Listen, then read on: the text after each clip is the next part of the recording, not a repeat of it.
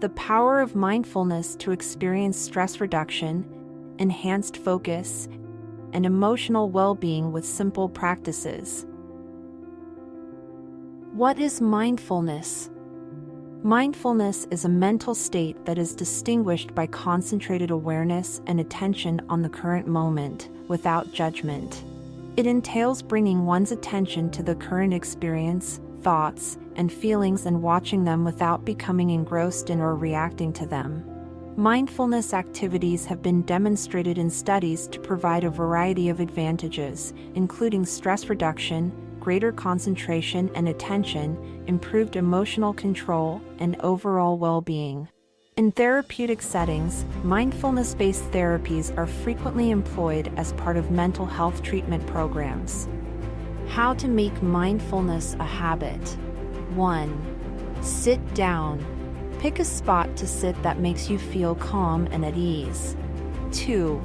Set an end time. Pick a short time, like 5 or 10 minutes, if you're just starting out. 3. Pay attention to your body. You are free to sit or kneel however feels best for you. Get yourself grounded and in a place where you can stay for a while. 4. Pay attention to your breath. Watch how your breath feels as it comes in and as it goes out. 5.